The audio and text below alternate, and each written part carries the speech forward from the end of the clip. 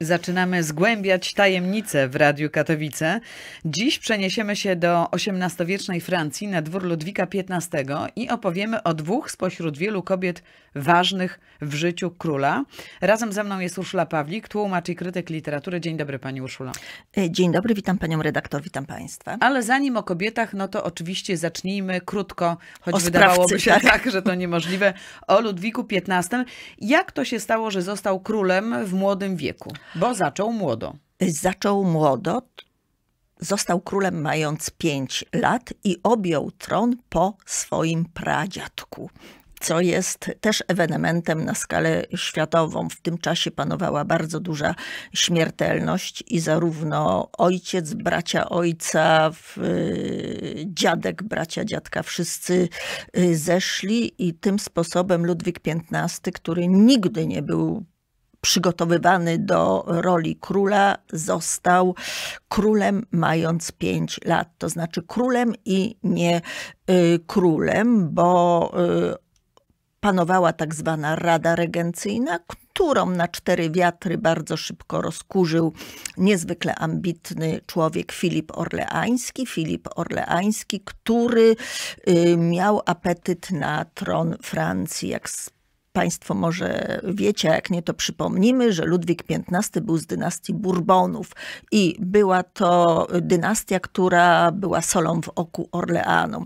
I teraz mały chłopczyk na y, tronie, no najlepiej by było go y, otruć, ale to by było zbyt oczywiste. zbyt oczywiste i zbyt niebezpieczne i odcięłoby drogę Orleanom do y, tronu. Nie wiadomo, jakby to się skończyło dla samego Filipa. W związku z tym postanowił grać na naturalną y, śmierć, a jeżeli nie, to na bezdzietną śmierć dziecka. Tym bardziej, że dziecko było słabowite, słabego tak. zdrowia mm, i niewiele się zanosiło. W związku z tym zrobił taki myk, że bardzo długo odciągał y, koronację i gdy Ludwik miał lat 11 zaręczył go z infantką y, hiszpańską, hiszpańską, która w owym czasie miała 3 latka, a najwcześniej Wtedy można było małżeństwo skonsumować, gdy dziewczynka miała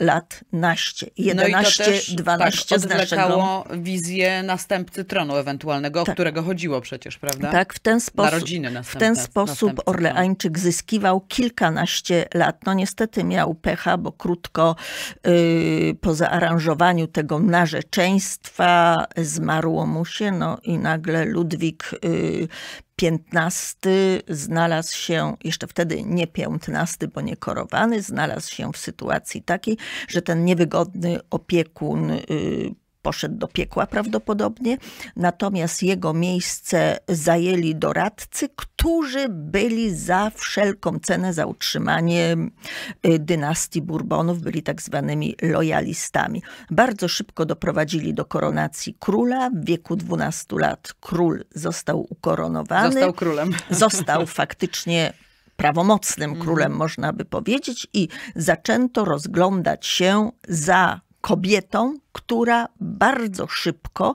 byłaby w stanie urodzić potomka. Czyli dać następcę tronu, jak już następcę tak. tronu, tak. ale wcześniej trzeba było rozwiązać to niefortunne y, narzeczeństwo już wtedy z czteroletnią narzeczoną, co negocjacje trwały. W związku z tym z jednej strony rozwiązywano małżeństwo, y, narzeczeństwo, narzeczeństwo, co nie było takie mhm. proste, natomiast z drugiej strony szukano kandydatek. No Znaleziono 99 kandydatek, kandydatek i wszystkie były y, wszystkie spełniały określone kryteria, które E, wymagane były od przyszłej królowej, bo żona Ludwika XV miała być ukoronowana i na liście jedną z panien na wydaniu wchodzącą w grę była, znalazła się Polka Maria Leszczyńska. Zdradzamy dziś e, tajemnicę Wersalu i dworskich intryg za czasów Ludwika XV. Z grubsza wiemy już, jak to się stało, że Ludwik został e, wreszcie koronowany i wybierano mu kandydatkę na żonę. Chodziło o to, aby kandydatka w miarę szybko była w stanie urodzić dzieci, najlepiej potomków e, rodzaju męskiego. Wybór padł na Polkę, Marię Leszczyńską, starszą o 7 lat od Ludwika. Kim była Maria Leszczyńska? Oprócz um, tego, że królewną polską. Y, królewną polską, ale królewną takiego bardzo wątpliwego y, pochodzenia. Była córką Stanisława Leszczyńskiego, króla Polski, króla elekcyjnego, który tym królestwem, czy tym berłem i tronem za długo się nie nacieszył, bo raptem po czterech latach został y, zdetronizowany przez wiecznie kłócące się od stuleci społeczeństwo polskie. Zresztą z tamtego czasu pochodzi słynne powiedzenie jedni do sasa, drudzy do lasa, dlatego że byli stronnicy Leszczyńskiego i byli y, stronnicy króla saskiego y, Augusta. W każdym razie Leszczyński mm, stracił tron. Nigdy nie pochodził z bardzo znamienitej rodziny, to była raptem średnia y, szlachta, średnio zamożna, a już w ogóle jak go wywalili z tego tronu, czy jak ten tron wyciągnęli spod y, niego, to stał się biedny jak mysz kościelna, osiadł we E, Francji, no ale status berła królewskiego wykatapultował Marię jako e, królewnę. Jakie miała e, zalety? Przede wszystkim była katoliczką, co się bardzo liczyło, bo królowa Francji musiała być katoliczką. Po drugie, pochodziła z rodziny, która słynęła z płodności. To też bardzo to ważne. Bardzo ważne. Po trzecie, miała szerokie biodra, E, co, co dawało szansę na obdarzenie króla licznym, licznym potomstwem. potomstwem. Mhm. Po trzecie, była bardzo zdrowa, co lekarze mm, też y, sprawdzili. Po czwarte, a może po pierwsze, była w wieku rozrodczym, bo miała 22 lata, a jej oblubieniec miał 15. Perwersja, prawda? Z dzisiejszego punktu widzenia, widzenia tak. nawet pedofilia. Tak. Po y, czwarte, y, miała dobre tak zwane cechy charakteru. Była uległa, była łatwa do prowadzenia. Nie miała pojęcia i rozeznania w polityce, co dla tych, którzy chcieli manipulować królem i y, królestwem, było na mm, wagę złota. Kolejna cecha była dobrego serca. Była bardzo Religijna. No religijna była do Aż przesady, mhm. bo była dewotką i to był ten moment, który bardzo zniechęcił do niej przyszłego może już nie przyszłego, tylko małżonka. małżonka bo ta dewocja się pogłębiała. Mhm. Dewocja się y, pogłębiała.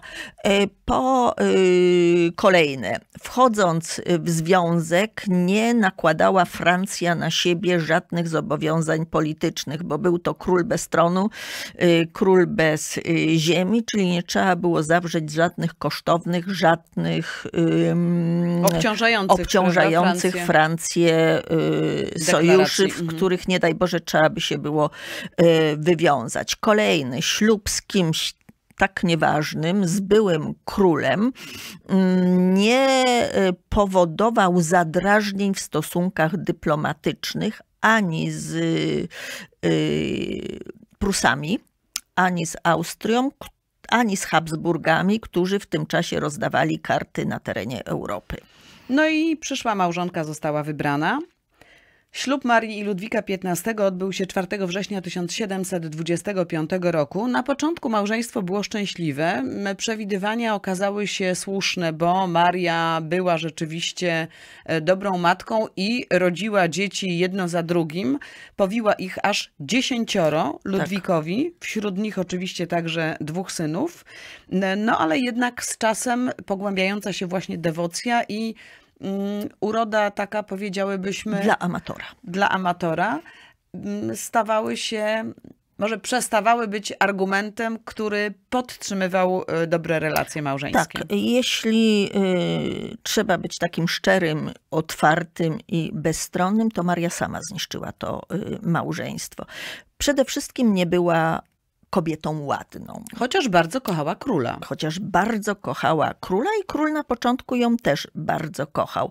Ale y, to, że była taka bardzo religijna, zaczęła się y, umartwiać w najróżniejszych intencjach. A umartwianie oznaczało między innymi zaniedbywanie swojego wyglądu zewnętrznego. Ludwik XV, który do tego przywiązywał ogromną wagę. Był bardzo elegancki. Był sam w sobie bardzo elegancki, y, wyrafinowany, wyrafinowany w, gustach. w gustach, to te przyzwyczajenia żony zaczęły go ra, drażnić na początku, potem razić. Dopełniła się miara, czy takim milowym y, krokiem było to, że królowa zrezygnowała z wygodnego, y, z wygodnego łoża, bo umartwianie to było spanie na y, desce. I specjalnie jak król do niej przychodził, czy zaszczycał ją, jak to się mówiło w nocy, trzeba było targać y, ogromne piernaty i wyściełać to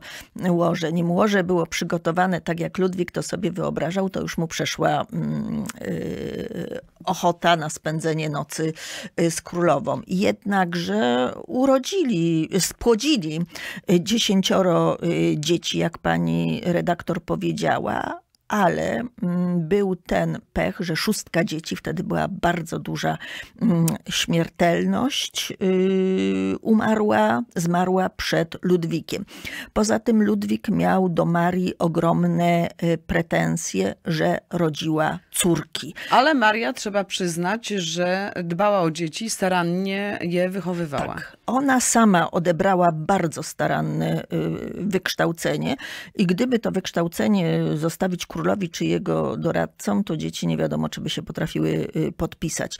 Tymczasem zarówno wszystkie księżniczki, te, które nie umarły y, mhm. w dzieciństwie, mm, odebrały staranne wykształcenie i to zarówno muzyczne, y, znały geografię, znały języki, w tym również dwie z księżniczek znały język polski, potrafiły Y, orientować się y, w sytuacji politycznej. No oczywiście obowiązkową łacinę również znali, natomiast jeszcze większą wagę y, przywiązała czy przywiązywała do edukacji jedynego syna. Mówiliśmy, Który że przeżył, tak. urodziła dwoje mhm. dzieci, niemniej jeden z synów zmarł w wieku trzech mm, lat. I doprowadziła do sytuacji takiej, że dzieci ją bardzo kochały, bardzo były y, za matką i bardzo włączały się w liczne akcje charytatywne i bardzo wspierały matkę, bo matka słynęła mm, z zakładania y, przytułków, z zakładania y, sierocińców, była królową dobrotliwą i w przeciwieństwie potem do króla, który był najpierw Ludwikiem ukochanym, potem stał się Ludwikiem y, utracjuszem, Lud do końca bardzo kochał Marię i w momencie jej śmierci była to ogromna żałoba w Paryżu. Małżeństwo trwało, ale oczywiście król miał wiele oficjalnych metres, bo to było na porządku dziennym, takie były czasy i y, nikogo to nie dziwiło. O większości z nich królowa wiedziała. Wśród y, tych pań była także Madame Pompadour, która odegrała ogromną rolę w życiu Ludwika i y, ogromne znaczenie dla historii Francji miała, ale opowiemy o niej w suplemencie. Suplement będzie do obejrzenia i posłuchania tylko na kanale YouTube, na profilu facebookowym i na stronie Radia Katowice. E, natomiast no, Maria żyła w cieniu i pozostawała I się godziła królową i się godziła na to. Jeśli te czasy Państwa interesują i chcieliby Państwo więcej dowiedzieć się na temat Wersalu, życia na dworze Ludwika XV i w ogóle Wersalu w XVIII wieku, to polecamy Państwu lekturę.